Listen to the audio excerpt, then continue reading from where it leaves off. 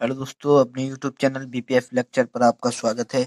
आज देखते हैं करोड़ जो की क्लास टेंथ में बेटा दो नंबर का पक्का आता है, पक्का गारंटी के साथ सौ परसेंट की। तो देखते हैं करोड़ की परिभाषा क्या है, ठीक है?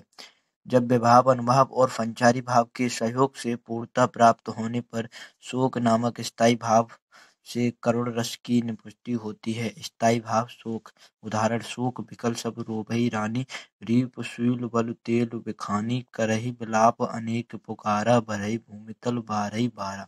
दोस्तों, अगर वीडियो अच्छा लगा तो लाइक, शेयर, सब्सक्राइब करना ना भूलें। मिलते हैं नेक्स्ट वीडियो में इसी के साथ।